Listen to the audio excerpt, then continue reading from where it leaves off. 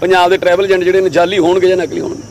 ਅਸੀਂ ਇਹੀ ਅੱਜ ਡੀਜੀਪੀ ਸਾਹਿਬ ਨਾਲ ਵੀ ਇਹੀ ਗੱਲ ਹੋਈ ਹੈ, ਯਾਦਵ ਸਾਹਿਬ ਖੜੇ ਉਹਨਾਂ ਨਾਲ ਵੀ ਇਹੀ ਗੱਲ ਹੀ ਹੈ ਐਸਆਈਟੀ ਹੈ, ਸਾਡੀ ਉਹਦੇ ਹੈੱਡ ਨੇ, ਉਹਨਾਂ ਨਾਲ ਵੀ ਇਹੀ ਗੱਲ ਹੋਈ ਹੈ ਕਿ ਆਪਾਂ ਕੋਈ ਇਸ ਚੱਕਰ 'ਚ ਕੋਈ ਜਿਹੜਾ ਬੇਕਸੂਰਾ ਨਾ ਜਿਹੜਾ ਫਸ ਜੇ। ਜਿਹੜੇ ਜਿਹੜੇ ਜਾਲੀ ਨੇ, ਜਿਹੜੇ ਜਿਹੜੇ ਕਹਿੰਦੇ ਨੇ ਅਸੀਂ ਐਂ ਕਰ ਦਿੰਨੇ ਐਂ ਕਰ ਦਿੰਨੇ ਇੰਨੇ ਦਿਨਾਂ 'ਚ ਉੱਥੇ ਵੀਜ਼ਾ, ਇੱਥੇ ਟਰੈਵਲ ਵੀਜ਼ਾ ਲਵਾ ਕੇ ਭੇਜ ਦਿੰਦੇ ਆ ਮਲੇਸ਼ੀਆ 14 ਦਿਨਾਂ ਦਾ 15ਵੇਂ ਦਿਨ ਤੋਂ ਉਹ ਉਹ ਬੰਦੇ ਜਿਹੜੇ ਨੇ, ਉਹ ਇਲੀਗਲ ਹੋ ਜਾਂਦੇ ਨੇ। ਚਾਹੇ 10 ਸਾਲ ਰਹਿ ਲੇ ਤੁਸੀਂ, ਬਿਨਾਂ ਵੀਜ਼ੇ ਤੋਂ ਚਾਹੇ ਇੱਕ ਦਿਨ ਰਹਿ ਲੇ, ਰੂਲ ਸੇਮ ਹੈ।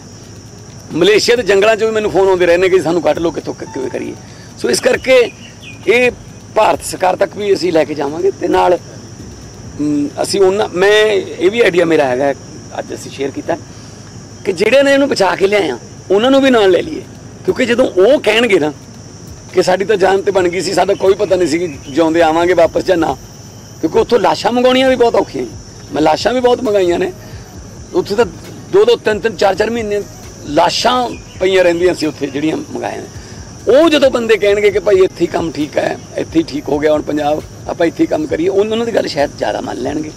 ਥੋੜਾ ਜਿਹਾ ਆਪਣਾ ਜਹਾਜ਼ ਚੜਨ ਦਾ ਚਾਹ ਹੈ ਤੇ ਉਹ, ਜੇ ਆਪਾਂ ਨੂੰ ਕੰਮ ਇੱਥੇ ਹੀ ਮਿਲ ਜੇ ਤਾਂ ਉਹ ਸਰ ਕੋਸ਼ਿਸ਼ ਇਹ ਕੀਤੀ ਜਾਊਗੀ ਸਰ ਕੋਸ਼ਿਸ਼ ਇਹ ਕੀਤੀ ਜਾਊਗੀ ਕਿ ਜਿਹੜੇ ਰਜਿਸਟਰਡ ਆਰਗੇਨਾਈਜੇਸ਼ਨਸ ਨੇ ਉਹਨਾਂ ਦੀ ਕੋਈ ਲਿਸਟ ਜਾਰੀ ਕੀਤੀ ਜਾਏ ਤਾਂ ਕਿ ਸਟੂਡੈਂਟਸ ਦੇ ਵਾਸਤੇ ਵੀ ਭਲਾ ਰਵੇ ਔਰ ਹਾਂ। ਜਿਹੜੇ ਪੇਰੈਂਟਸ ਨੇ ਉਹਨਾਂ ਨੂੰ ਵੀ ਈਜ਼ੀ ਬਿਲਕੁਲ ਬਿਲਕੁਲ। ਰਜਿਸਟਰਡ ਜਿਹੜੇ ਨੇ ਉਹਨਾਂ ਉਹਨਾਂ ਦਾ ਵੀ ਅਸੀਂ ਕਰਾਂਗੇ ਕਿ ਆਹ ਰਜਿਸਟਰਡ ਨੇ ਤੇ ਉਹਨਾਂ ਨੂੰ ਬੁਲਾਵਾਂਗੇ ਕਿ ਤੁਸੀਂ ਕੋਈ ਗਲਤ ਕੰਮ ਨਹੀਂ ਕਰਨਾ ਤੁਹਾਨੂੰ ਕੁਝ ਨਹੀਂ ਕਹਿੰਦੇ।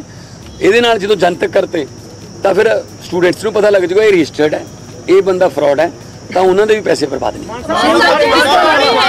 ਕੱਲ ਪਹਿਲਾਂ ਕੈਪਟਨ ਅਮਰਿੰਦਰ ਸਿੰਘ ਨੇ ਕਿਹਾ ਕਿ ਮੈਂ ਨਹੀਂ ਜਾਣਦਾ ਮੁਖਤਾਰ ਅੰਸਾਰੀ ਕੋਲ ਨਾ ਤੁਸੀਂ ਟਵੀਟ ਕਰਕੇ ਇੱਕ ਚਿੱਠੀ ਜੋ ਕੀ ਹੈ ਉਹ ਜਨਤਕ ਕੀਤੀ ਦੂਜੇ ਪਾਸੇ ਉਹ ਕਹਿੰਦੇ ਨੇ ਕਿ ਸਿਰਫ 17 ਲੱਖ ਰੁਪਏ ਦਾ ਖਰਚਾ ਆਇਆ 55 ਲੱਖ ਦੇ ਬਿੱਲ ਸਾਹਮਣੇ ਆ ਚੁੱਕੇ ਜਨਤਕ ਹੋ ਚੁੱਕੇ ਹੈ ਇਸ ਤੋਂ ਬਾਅਦ ਹੁਣ ਤੁਹਾਡਾ ਅੱਗੇ ਕੀ ਕੁਝ ਕਾਰਵਾਈ ਰਹੇਗੀ ਤੇ ਕੀ ਕਿਸ ਤਰੀਕੇ ਦਾ ਜਵਾਬ ਹੈ ਕੈਪਟਨ ਅਮਰਿੰਦਰ ਸਿੰਘ ਨੂੰ ਤੇ ਦੇਖੋ ਮੈਂ ਬਾਰ-ਬਾਰ ਕਹਿਣਾ ਨਾਲ ਇੱਕ ਹੋਰ ਕੁਐਸਚਨ ਹੈ ਉਹ ਵੀ ਹੈ ਕਿ ਇਹਨਾਂ ਨੇ ਕੱਲ ਨਾਲ ਤੁਸੀਂ ਨੋਟਿਸ ਭੇਜਿਆ ਹੈਗਾ ਰਿਐਕਸ਼ਨ ਬੜਾ ਮੀਡੀਆ ਉੱਪਰ ਵੀ ਬੜਾ ਆਇਆ ਬੜਾ ਜ਼ਿਆਦਾ ਹੀ ਜ਼ਿਆਦਾ ਮਤਲਬ ਜਿਹਨੂੰ ਕਹਿ ਲਓ ਕਿ Aggressive ਹੋਏ। ਅਗਰੈਸਿਵ ਹੋਏ ਔਰ ਤੁਹਾਡਾ ਜਿਹੜਾ ਗੁੱਸਾ ਸੀ ਚਾਂਦਰੋਂ ਦਾ ਗੁੱਸਾ ਸੀ ਕਿਤੇ ਆ ਕੇ ਇੱਧਰ ਵੀ ਕੱਢਿਆ। ਉਹ ਬਿਹੇਵੀਅਰ ਵੀ ਤੁਸੀਂ ਕਿੱਦਾਂ ਮੰਨਦੇ ਹੋ? ਕਿਉਂਕਿ ਇੱਕ ਬੁਖਲਾਹਟ ਸੀ ਕੀ ਸੀ?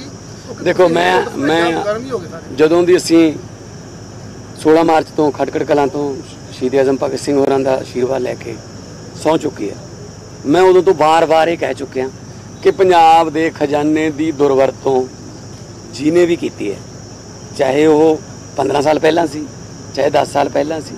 ਭਾਵੇਂ ਉਹ ਆਪਣੇ ਮਿੱਤਰਾਂ ਨੂੰ ਕੋਈ ਪ੍ਰਾਪਰਟੀ ਕੌਡੀਆਂ ਦੇ ਭਾਅ ਵੇਚ ਗਿਆ, ਭਾਵੇਂ ਉਹ ਆਪਣੇ ਦੋਸਤਾਂ ਦੋਸਤੀ ਨਿਭਾਉਣ ਲਈ ਕੋਈ ਕਿਸੇ ਨੂੰ ਜੇਲ੍ਹ 'ਚ ਰੱਖ ਗਿਆ, ਭਾਵੇਂ ਉਹ ਕਿਸੇ ਵੀ ਕਿਸਮ ਨਾਲ ਪੰਜਾਬ ਦੇ ਖਜ਼ਾਨੇ ਨੂੰ ਲੁੱਟ ਗਿਆ, ਉਹਦੀ ਤਾਂ ਜਾਂਚ ਹੋਊਗੀ ਤੇ ਜਾਂਚ ਹੋ ਕੇ ਸਜ਼ਾ ਵੀ ਮਿਲੂਗੀ ਜੋ ਬਣਦੀ ਹੈ ਕਾਨੂੰਨ ਮੁਤਾਬਕ। ਜਿੱਥੋਂ ਤੱਕ ਅਨਸਾਰੀ ਵਾਲਾ ਸਵਾਲ ਇਹ ਤਾਂ ਹੁਣ ਜੱਗ ਜ਼ਾਹਰ ਹੈ ਕਿ ਉਹ ਪੌਣੇ 2 ਸਾਲ ਦੇ ਲਗਭਗ ਲਗਭਗ 2 ਸਾਲ ਦੇ ਲਗਭਗ ਰੋਪੜ ਜੇਲ੍ਹ 'ਚ ਰਿਹਾ। ਤੇ ਉਸ ਕੇਸ ਦਾ ਵੀ ਨਹੀਂ ਪਤਾ ਜਿਹੜੇ ਕੇਸ 'ਚ ਰੱਖਿਆ ਸੀ। ਕੇਸ 'ਚ ਕਿਹੜੇ 'ਚ ਰੱਖਿਆ ਸੀ? ਕੋਈ ਕੇਸ ਨਹੀਂ ਸੀ। ਉੱਥੇ ਇੱਕ ਐਮਐਲਏ ਐਮਪੀ ਕੋਰਟ ਹੈ ਯੂਪੀ 'ਚ। ਉਹਦੇ ਵਿੱਚ ਉਹਦਾ ਕੇਸ ਲੱਗ ਗਿਆ। ਉਹ 2 ਮਹੀਨੇ 3 ਮਹੀਨਿਆਂ 'ਚ ਉਹਨੂੰ ਸਜ਼ਾ ਹੋ ਜਾਣੀ ਸੀ। ਤੇ ਇਹ ਅਨਸਾਰੀ ਜਿਹੜਾ, ਇਹਨੇ ਪੰਜਾਬ ਸਰਕਾਰ ਨਾਲ ਸੰਪਰਕ ਕੀਤਾ। ਪੰਜਾਬ ਸਰਕਾਰ ਨਾਲ ਸੰਪਰਕ ਕਿਹੜੇ ਚੈਨਲ ਤੋਂ ਕੀਤਾ? ਕੈਪਟਨ ਸਾਹਿਬ ਨੂੰ ਮੈਂ ਦੱਸ ਦੇਣਾ ਚਾਹੁੰਦਾ, ਉਹ ਕਹਿੰਦੇ ਮੈਂ ਜ਼ਿੰਦਗੀ 'ਚ ਕਦੇ ਮਿਲਿਆ ਨਹੀਂ। ਰਣਿੰਦਰ ਨੂੰ ਪੁੱਛ ਲਿਓ। ਤੁਹਾਡੇ ਬੇਟੇ ਨੂੰ ਪੁੱਛ ਲਿਓ ਵੀ ਉਹ ਕਿੰਨੀ ਕੁ ਵਾਰੀ ਮਿਲਿਆ ਜ਼ਿੰਦਗੀ 'ਚ। ਸੰਪਰਕ ਕਰਕੇ ਇੱਕ ਇੱਥੇ ਥ੍ਰੈਟ ਦੀ ਐਫ ਆਈ ਆਰ ਕਰਾ ਕੇ ਉਹਨੂੰ ਲੈ ਆਏ ਇੱਥੇ। ਲੈ ਆਏ ਜੀ, ਉਹਦੀ ਸੇਵਾ ਸ਼ੁਰੂ ਹੋ ਗਈ। ਘੱਟੋ ਘੱਟ 25 ਵਾਰ ਤੋਂ ਵੱਧ ਯੂਪੀ ਪੁਲਿਸ ਨੇ ਕਿਹਾ, ਸਾਡਾ ਬੰਦਾ ਸਾਨੂੰ ਦੇ ਦਿਓ। ਕਦੇ ਕਹਿੰਦੇ ਰੀੜ ਦੀ ਹੱਡੀ ਨਹੀਂ ਠੀਕ ਹੈਗੀ, ਕਦੇ ਕਹਿੰਦੇ ਸਰਵਾਈਕਲ ਦੀ ਪ੍ਰੋਬਲਮ ਹੈ ਟਰੈਵਲ ਨਹੀਂ ਕਰ ਸਕਦਾ। 25 ਦੀਆਂ 25 ਚਿੱਠੀਆਂ 'ਚ ਤਾਂ ਜਵਾਬ ਦਿੱਤਾ, ਅਸੀਂ ਨਹੀਂ ਦਿੰਦੇ ਇਹਨੂੰ। ਉਹਦੀ ਸੇਵਾ ਚੱਲ ਰਹੀ ਸੀ, ਉਹਦੀ ਵਾਈਫ ਆ ਕੇ ਦੋ ਦੋ ਮਹੀਨੇ ਇੱਥੇ ਰਹਿੰਦੀ ਸੀ, ਜੇਲ੍ਹ ਦੇ ਮਗਲੇ ਪਾਸੇ ਕੋਠੀ ਲੈ ਲਈ ਸੀ। ਠੀਕ ਹੈ ਜੀ? ਫਿਰ ਯੂਪੀ ਪੁਲਿਸ ਗਈ ਸੁਪਰੀਮ ਕੋਰਟ 'ਚ। ਸੁਪਰੀਮ ਕੋਰਟ ਨੂੰ ਕਿਹਾ ਉਹਨਾਂ ਨੇ ਕਿ ਸਾਨੂੰ ਬੰਦਾ ਨਹੀਂ ਦਿੰਦੇ ਜੀ, ਪੰਜਾਬ ਪੁਲਿਸ ਵਾਲੇ। ਸਾਡਾ ਬੰਦਾ ਜੀ, ਉਹਦੇ ਕੇਸ ਚੱਲਦੇ ਨੇ। ਇਸ ਗੱਲ ਨੂੰ ਇਸ ਕੇਸ ਨੂੰ ਲੜਨ ਲਈ ਵਕੀਲ ਕੀਤੇ ਗਏ ਕਿ ਆਪਾਂ ਦੇਣਾ ਨਹੀਂ ਬੰਦਾ ਇਹ। ਵਕੀਲਾਂ ਦੀ ਫੀਸ ਬਣ ਗਈ 55 ਲੱਖ ਰੁਪਏ। ਉਹ 55 ਇਨ ਦਾ ਮੀਨ ਟਾਈਮ ਇਹਨਾਂ ਦੀ ਸਰਕਾਰ ਬਦਲ ਗਈ। 55 ਲੱਖ ਰੁਪਏ ਦਾ ਬਿੱਲ ਤਾਂ ਮੇਰੇ ਕੋਲ ਹੀ ਆਊਗਾ ਨਾ। ਜਦੋਂ ਮੇਰੇ ਕੋਲ 55 ਲੱਖ ਦਾ ਬਿੱਲ ਆਇਆ ਵਕੀਲਾਂ ਦੇ ਪੈਸੇ ਤਾਂ ਸਾਨੂੰ ਦੇਣੇ ਪੈਣਗੇ ਨਾ। ਠੀਕ ਹੈ ਨਾ? ਮੈਂ ਕਿਹਾ ਵੀ ਇਹ 55 ਲੱਖ ਆਪਾਂ ਖਜ਼ਾਨੇ ਚੋਂ ਕਿਉਂ ਦੇਵਾਂਗੇ? ਇਹ 55 ਲੱਖ ਉਹਨਾਂ ਤੋਂ ਵਸੂਲਣਾ ਚਾਹੀਦਾ ਜਿਨ੍ਹਾਂ ਨੇ ਬਿਨਾਂ ਕਿਸੇ ਕਾਰਨ ਤੋਂ ਇੱਥੇ ਰੱਖਿਆ ਉਹਨਾਂ ਨੂੰ। ਤਾਂ ਜੇਲ੍ਹ ਮੰਤਰੀ ਸਾਹਿਬ ਕਹਿੰਦੇ ਵੀ ਮੈਨੂੰ ਤਾਂ ਕੁਝ ਪਤਾ ਹੀ ਨਹੀਂ ਹੁੰਦਾ। 2021 ਚੋਂ ਚਿੱਠੀ ਲਿਖ ਰਹੇ ਨੇ ਵੀ ਪਾਰਟੀ ਦੀ ਬਹੁਤ ਕਿਰਕਰੀ ਹੋ ਰਹੀ ਹੈ। ਮੂਰੇ ਵਿਧਾਨ ਸਭਾ ਚੋਣਾਂ ਆ ਰਹੀਆਂ ਨੇ। ਮੀਡੀਆ ਸਵਾਲ ਪੁੱਛਦਾ, ਮੈਂ ਮੈਂ ਕੀ ਜਵਾਬ ਦੇਵਾਂ? ਮੈਨੂੰ ਤਾਂ ਤੁਸੀਂ ਪ- ਦੱਸਦੀ ਨਹੀਂ ਹੈਗੇ ਕਿ ਤੁਸੀਂ ਲਿਆ ਕੇ ਉਹਨੂੰ ਰੱਖ ਰੱਖਿਆ ਅਨਸਾਰੀ ਨੂੰ। ਇਹ ਇਹ ਚਿੱਠੀ ਹੈ ਨਾ? ਮੈਂ ਲਿਖੀ ਹੈ। ਚਿੱਠੀ ਸੁਖਜਿੰਦਰ ਰੰਧਾਵਾ ਨੇ ਲਿਖੀ ਹੈ। ਇਹਦਾ ਮਤਲਬ ਜੇਲ੍ਹ ਮੰਤਰੀ ਕਹਿ ਰਹੇ ਸੀ, ਤੁਸੀਂ ਗ੍ਰਹਿ ਮੰਤਰੀ ਹੋ, ਮੈਨੂੰ ਤਾਂ ਦੱਸ ਦਿਆ ਕਰੋ। ਤੇ ਗ੍ਰਹਿ ਤਾਂ ਗ੍ਰਹਿ ਮੰਤਰੀ ਕੌਣ? ਮੁੱਖ ਮੰਤਰੀ। ਕੈਪਟਨ ਸਾਹਿਬ। ਕੈਪਟਨ ਸਾਹਿਬ ਕਹਿੰਦੇ ਮੈਂ ਜ਼ਿੰਦਗੀ 'ਚ ਕਦੇ ਮਿਲਿਆ ਨਹੀਂ।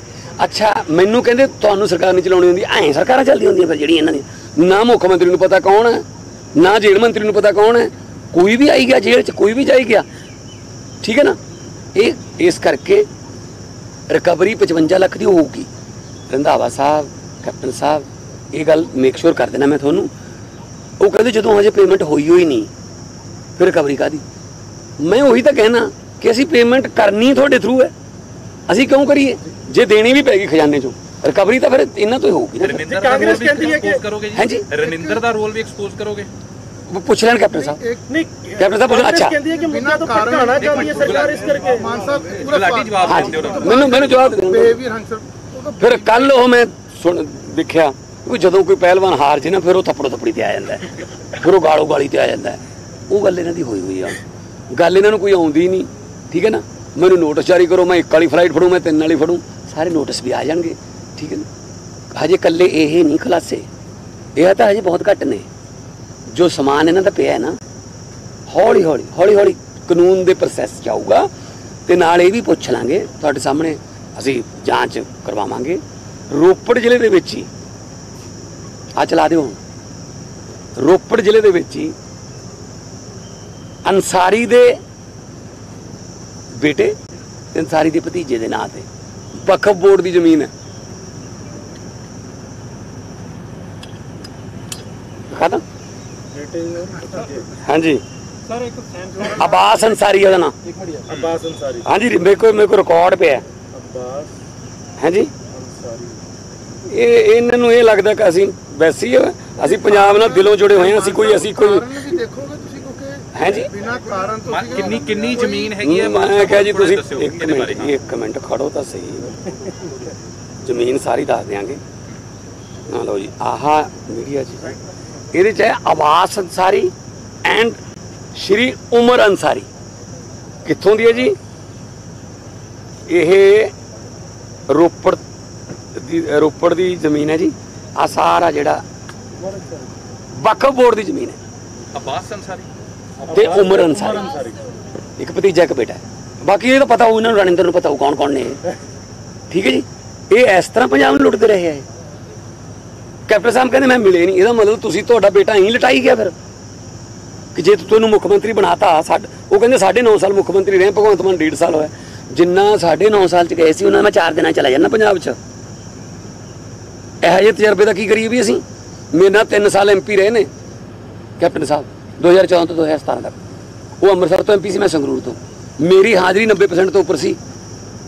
ਤੇ ਕੈਪਟਨ ਸਾਹਿਬ ਦੀ ਹਾਜ਼ਰੀ ਕਿੰਨੀ ਸੀ? ਜਿਹੜੇ ਕਹਿੰਦੇ ਅਸੀਂ ਤਜਰਬੇਕਾਰ ਹੁੰਨੇ ਆ 6% ਲੋਐਸਟ ਇਨ ਇੰਡੀਆ 6% ਹਾਜ਼ਰੀ ਸੀ। ਜਿੱਥੇ ਚੁਣੇ ਜਾਂਦੇ ਨੇ, ਉੱਥੇ ਜਾਂਦੇ ਨਹੀਂ। ਐਮਪੀ ਚੁਣੇ ਗਏ, ਪਾਰਲੀਮੈਂਟ 'ਚ ਨਹੀਂ ਗਏ। ਐਮਐਲਏ ਚੁਣੇ ਗਏ, ਵਿਧਾਨ ਸਭਾ 'ਚ ਨਹੀਂ ਗਏ। ਮੁੱਖ ਮੰਤਰੀ ਚੁਣੇ ਗਏ, ਸੈਕਟਰੀਏਟ 'ਚ ਨਹੀਂ ਆਏ। ਪੰਜਾਬ 'ਚ ਨਹੀਂ ਗਏ। ਇਹ ਕਾਹਦਾ ਤਜਰਬਾ ਬਈ ਫਿਰ? ਇਹੋ ਜਿਹੇ ਤਜਰਬੇ ਤੋਂ ਰੱਬ ਹੀ ਬਚਾਵੇ। ਸਰ, ਇੱਕ ਸਰ, ਇੱਕ ਸੈਨ ਫਰਾਂਸਿਸਕੋ ਦੇ ਵਿੱਚ ਇੰਡੀਅਨ ਕੌਂਸੂਲੇਟ ਦਾ ਦਫ਼ਤਰ ਆ, ਉਹਨੂੰ ਅੱਗ ਲਗਾ ਦਿੱਤੀ ਗਈ ਕਿ